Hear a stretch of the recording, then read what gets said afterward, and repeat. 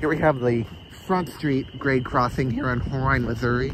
I'm gonna make this quick because there's a severe thunderstorm warning in the area and a tornado watch. And it's lightning in the distance, as you can see.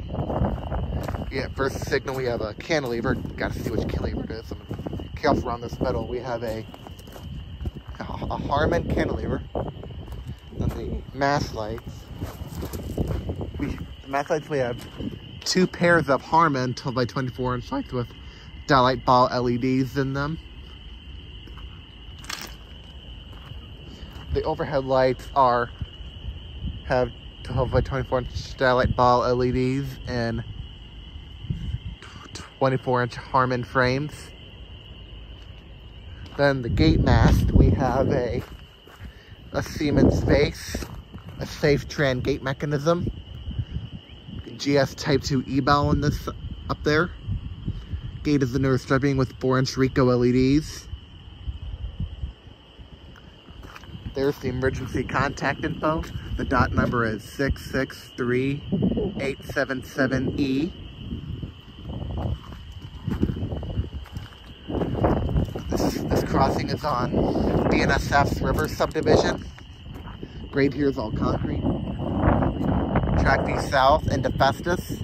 Track B north towards Imperial. And then facing towards Cherry Lane.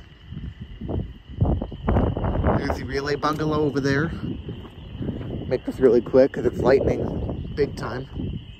And there's no cars coming.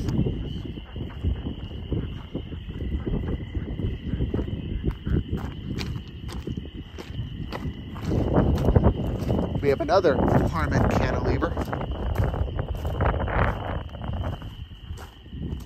There's the emergency contact info. 12, 20, 12 by 24 inch Dialight ball, ball LEDs and 24 inch Harmon frames.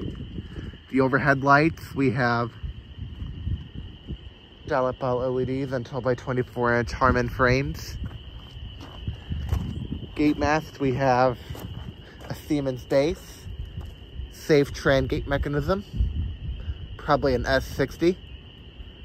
Then the lights on the gate masts are Harmon, not Harmon, Safetran double 24 inch lights with light ball LEDs. Gate has a newer striping with 4 inch Rico LEDs. GS Type 3 E-Bell on top of this signal. So here we have the Horine Road grade crossing in Horine, Missouri. STL train coverage out.